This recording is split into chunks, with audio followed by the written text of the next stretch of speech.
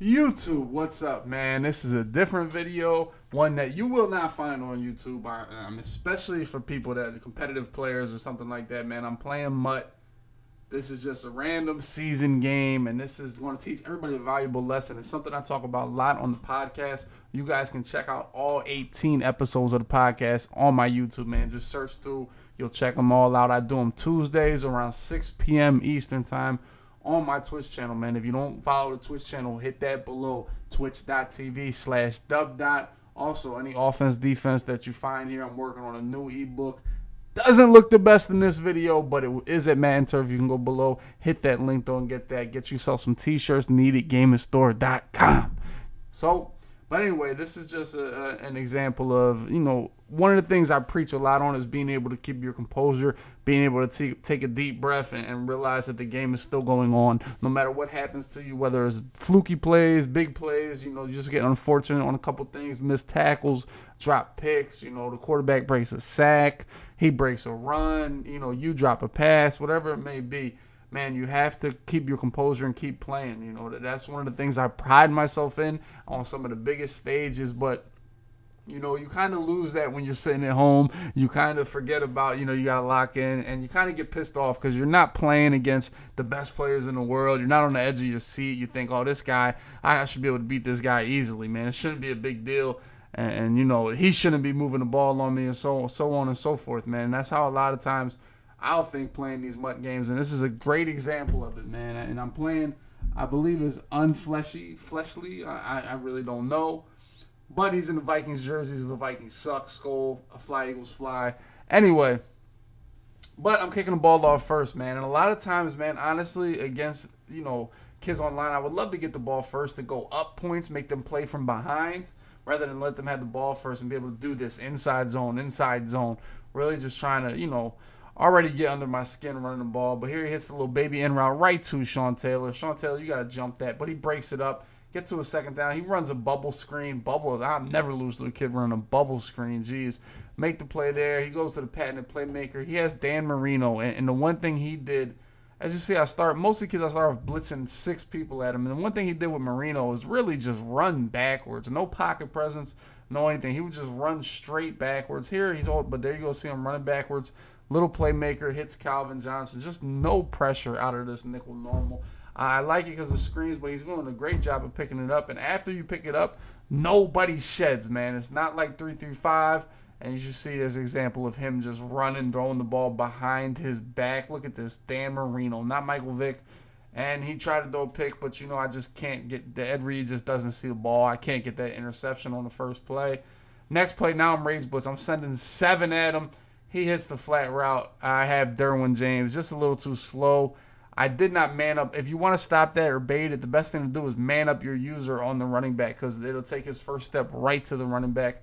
He beat me on that running back play, man. Third and 13, and I blitzed seven people after that play, especially where he was on the field. I shouldn't have blitzed anybody, really, and just make him get three. First play of my drive, I'm just playmaker Randy Moss back across the middle. Nice little move right there. This is probably my biggest highlight of the day. Shout out to D. Croft, man. Just with a little whoop just left Julius Peppers looking stupid. That was the highlight of this whole game for me. But anyway, next play, he's waiting for the playmaker. We throw it up. Randy Moss drops a tough catch in traffic for sure. Definitely not mad that he dropped that pass right there. Next play, we're going to throw the drag. He's lurking on Julius Peppers, man. That's 6'7", 94 speed, 93 speed, whatever you got him at. That's what he's lurking on. Next play, we're going to drag. We got the post right over the middle. Randy Moss or Calvin Johnson come back. Of course, he drops it. You know, we don't catch no open passes. Next play on, on fourth down, I'm super bagged, honestly. Nobody's open. Try to hit this post late, but uh, Keyshawn Johnson, all my backup players were in right there. That's something you got to worry about, man. Like when you when you taking a lot of plays, you're going fast. My backups were in right there. That was uh, just a bad Keyshawn Johnson with like 82 speed, and uh, that got bad real quick. Next drive, I go a little different, little three three five. Get some pressure arrow on him. Not going to blitz seven and six people at him. Just sending four. Throws the ball underneath here to Stefon Diggs. Getting close to field goal range, man. He's already up 7 nothing. I'm feeling okay. Kam Chancellor hits stick. Run commit hits stick. Kam Chancellor puts Barry Sanders down there. He throws into traffic. Jamal Adams, of course, swats behind the ball, lets him catch it. Uh, I wanted Jamal Adams to make a play right there. Deion Sanders coming in on a blitz. Like I said, I didn't send seven at him, working good. Now this is kind of this made me mad because he kind of conceded just the fact he wanted a field goal. He didn't really go for it. He didn't try to get a first down. He didn't try to, you know, make sure I didn't get the ball back. He just was cool going up ten nothing. And I'm like, man, I'm gonna go down, get seven. I get the ball at half. The game is far from over. Hit it underneath here to Vernon Davis. Breaks the tackle. That's my new tight end. We benched Dallas Clark, sold him for the coins. Next play, we're looking up top. I feel like I have a touchdown there in B. I'm going to go back to that, and it's going to hurt me later. I feel like my fade was a touchdown there. I could beat him deep. So there I go. I'm still throwing the ball underneath, still taking my check down, still making plays with Vernon Davis, with drags, with slants, still playing well. Obviously, I got boxed that first drive, but I'm going to continue to keep doing what I have to do playing good. Get here inside. The, I'm under 15. It's 30 seconds left. We're going to try to throw this post high ball over here to Julio, of course. It bounces back. The only place it could bounce back. It could have bounced out of bounds to the left, to the back, right back to the quarterback, but it bounces perfect place for him to go and pick it off. So instead of getting a touchdown there, no points or field goal, I get absolutely nothing. So still 10 nothing. Hits a nice dot right here, and this is the play of the game rolls out here. Dan Marino on a run, hits that pass, bounces off a hit stick, makes me miss another one because he bounced off the hit stick, and Calvin Johnson takes it to the crib on a broken play, playmaker, running with Dan Marino, and that's uh, 17 nothing as a whole. But that's why they watch. They're going to tune in for the comeback. You guys really didn't think I'd get blown out and posted on YouTube, right? As we try to, can we break this tackle? Let me break that tackle one time. But Rod Woodson tackles Julio Jones. So we get the ball out of half. We're down by 17, man. That's rough. It's three possessions, man. So and there's only eight minutes left in the game. So for me to win this game, I'm going to have to pretty much hold him scoreless and score uh, 20 plus points. It can be done.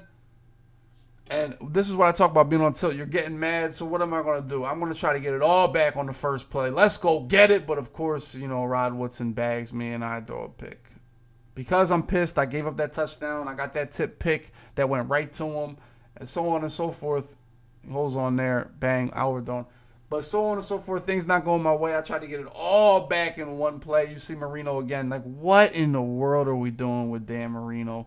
Can I get a turnover somehow? Now we're looking for a pick, and we lurk him perfectly. And of course, you know, just Derwin James wants to slip on a banana peel as I go for a pick there. So tilt on tilt right now. Really just going to continue to send it. And he throws one right in front of Kam Chancellor, who gets a pick animation behind the receiver. I'm on tilt right now. You're going, I'm blitzing six. I'm blitzing seven. I'm blitzing everybody at this kid.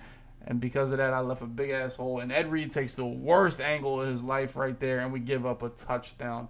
So now it's really dark really dark. Super on tilt. Like I said, I'm trying to get everything back, both on offense, both on defense. Now I just move the ball to the middle of the field. You know why? Because I want to try to bomb him again. Let's try to bomb this cover three. He just sat in cover three, rush three. We got the post route. Let's pass lead it over here. Let's run by Jamal Adams. Dives out of nowhere. Jesus. Calvin, you got to fight for me just a little bit, buddy.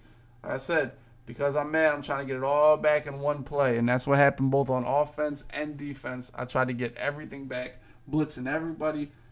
And here we go. This is the one that's going to do it off. Oh, easy pick. I don't know what happened there. Couldn't tell you.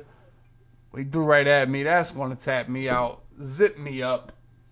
Got flooded, underwater really just like I said, I, I pride myself in keeping my composure, but that game really had me on tilt, really had me raging, and that's pretty much what happened in that game, man. And I tell you guys, no matter what happens in the game, you still have to keep your cool, still have to, you know, execute properly, man. Whether you're down 14 whether you're down 10, whether you're down 21, you still have to try to execute properly. And pretty much that tip pick right there, that one was the one that really set me off because the score was 10 nothing. Obviously, this play to Calvin was brutal, but the score was 10 nothing. If I just get three there, I'm all right. All I need is three. But because of that tip pick, bouncing back in the middle of the field, I really didn't get any points there. And uh, it really sent me just furious the rest of the game. And that's pretty much the reason why I was on tilt. And then, of course, you know, when these guys beat you, they send you these nice, pleasant messages. Hey, good game, man. I really respect you. Blah, blah, blah. And I appreciate it. But man, am I pissed. But at the same time, man, you got to get over your games that you lose. You pretty much have to uh, go on to the next game. That's the best thing about Madden. You know, they give you a chance to go to the next game. Just press search again. You know, that's pretty much it. And once you get into the next game, you should be able to forget, you know, the game you just got flooded, man. It happens to all of us. We all go on tilt. We all get pissed off from the game, man. But the best thing you can do is keep your composure.